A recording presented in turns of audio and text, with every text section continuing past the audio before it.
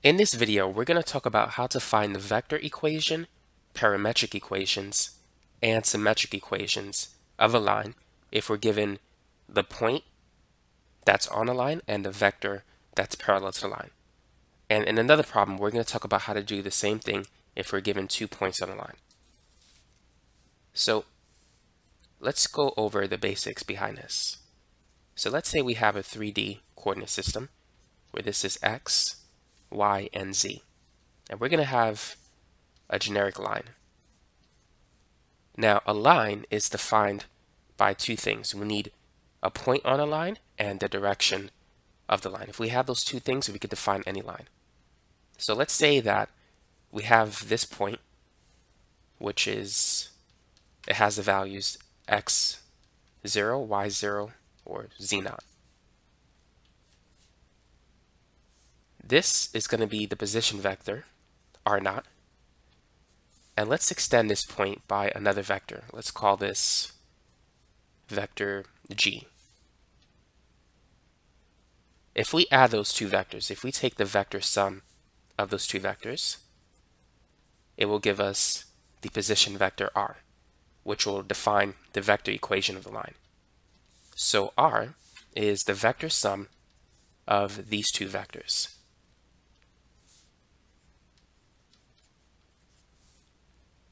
Now vector g is going to be parallel to vector v. Because they're both parallel to each other, g is going to be some scalar quantity multiplied by v. So we're going to say it's t times v. So thus, we have the vector equation of a line, which is r naught, whoa, what just happened there? It's r naught plus t times v. So this is the formula that we're going to use in order to write the vector equation for this problem. Now some other things that you want to keep in mind is that the position vector r naught is equal to x naught, y naught, and z naught. And v is defined by these values.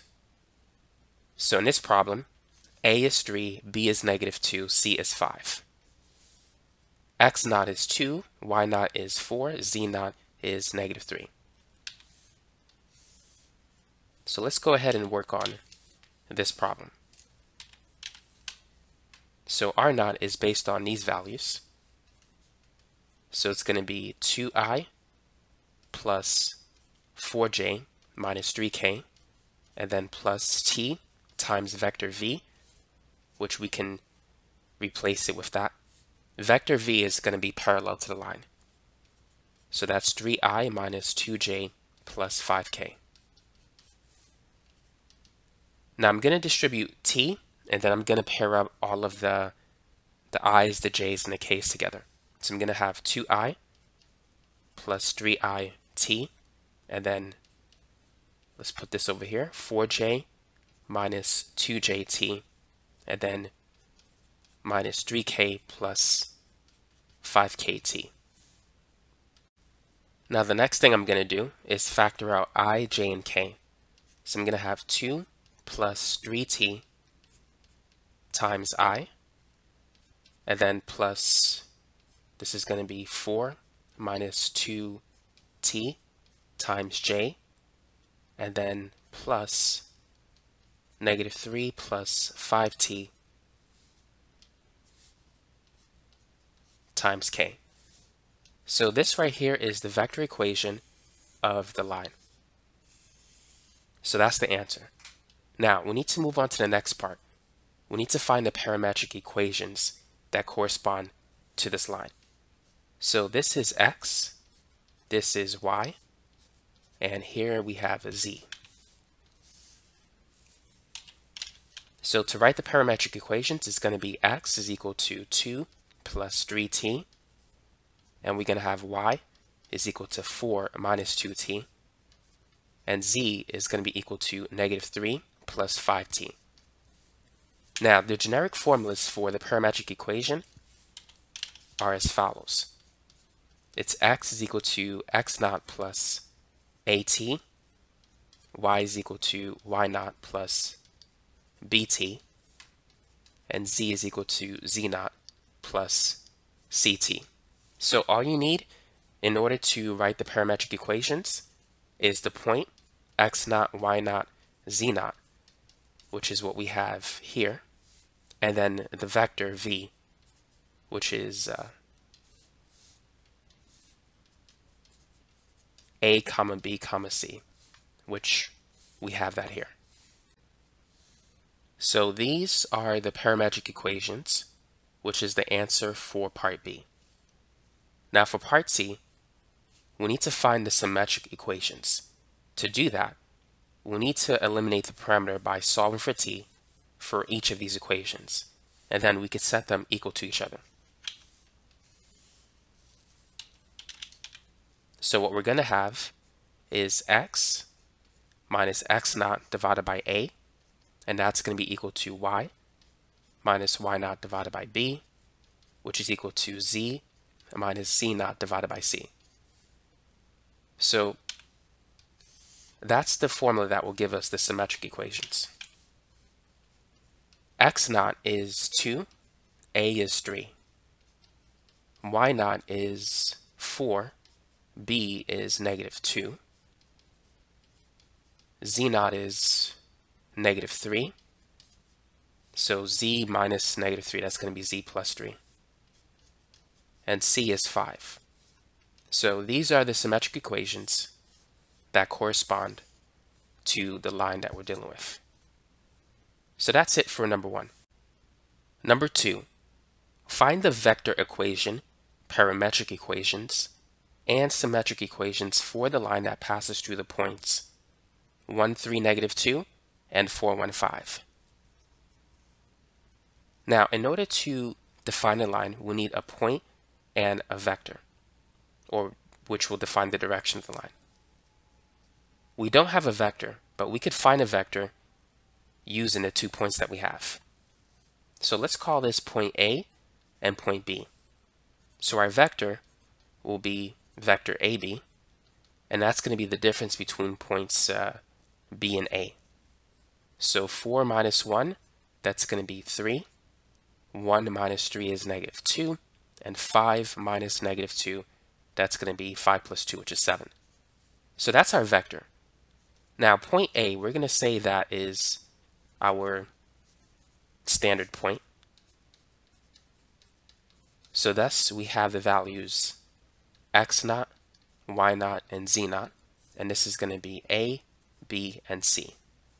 So at this point, we have everything that we need in order to find the vector equation, the parametric equations, and the symmetric equations. Now go ahead and try this problem based on the last example. So let's start with the vector equation using this formula. So R naught is going to be based on the point 1, 3, negative 2. So as a vector, it's going to be 1i plus 3j minus 2z. And then it's going to be plus t times vector v, which is 3i minus 2j plus 7k. So now let's factor out i, which is going to be based on those two quantities. So it's going to be 1 plus 3t times i. And then factoring out j, it's going to be based on those values. So it's plus 3 minus 2t times j. And then we're going to take out k. For some reason I put z. There should be a k here. So that was a mistake. So taking out k from those values, it's going to be negative 2 plus 7t times k. So that's going to be the vector equation. Now let's move on to part B. Let's write the excuse me the parametric equations, but we're going to use the formula to get the answer, even though we could find it directly from the vector equation.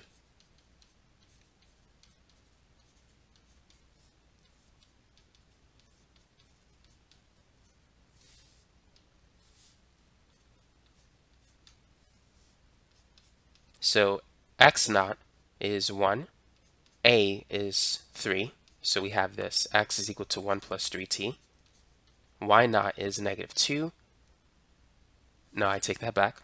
y naught is 3. b is negative 2, so we have that. And then z naught is negative 2. c is 7. So these are the parametric equations for the line.